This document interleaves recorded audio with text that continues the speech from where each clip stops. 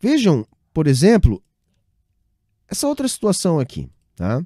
Que eu vou colocar esse pequeno videozinho aqui. Essa mulher que vocês estão vendo é a Camila Seconello, delegada-chefe da divisão de homicídios, é, que está investigando lá a situação toda é, envolvendo o assassinato do Marcelo Arruda, né?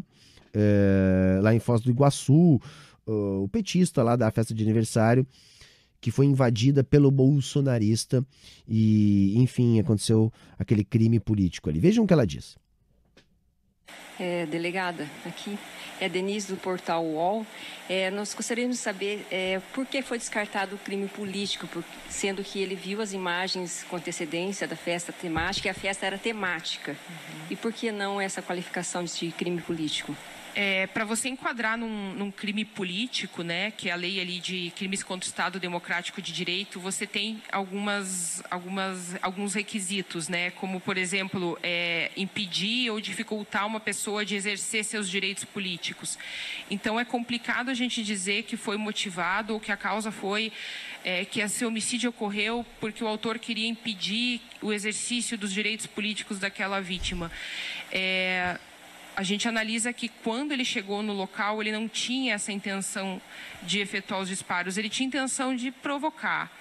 É, e a gente avalia que esse acirramento da discussão entre eles, a escalada dessa discussão entre os dois, é que acabou é, fazendo com que o autor voltasse e praticasse o homicídio. Então, é muito difícil analisar assim, os autos com as provas que nós temos e dizer que o autor ele foi até lá, ele voltou porque ele queria é, cessar os direitos políticos ou atentar contra os direitos políticos é, daquela pessoa parece muitas vezes mais uma coisa que acabou virando pessoal entre duas pessoas que discutiram, claro, por motivações políticas.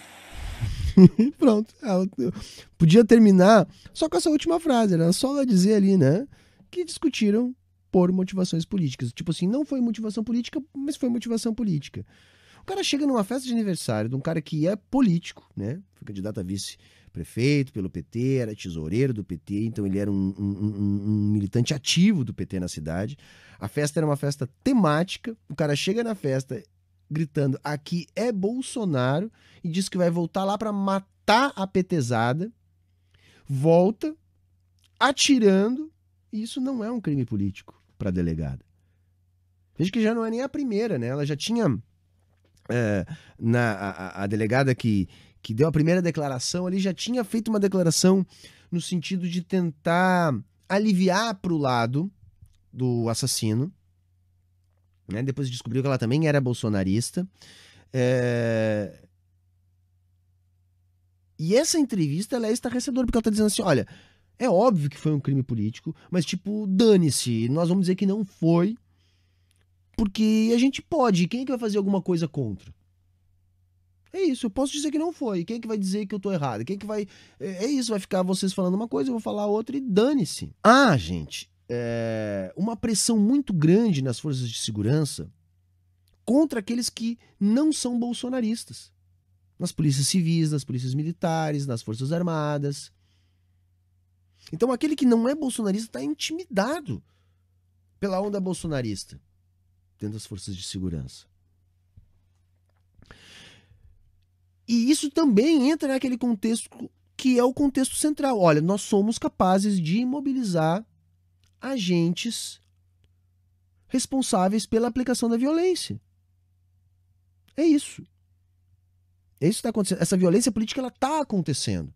É o caso do Freixo, é o caso do assassinato do Marcelo Arruda, né? é o caso lá do Genivaldo lá eh, colocado na câmara de gás da PRF.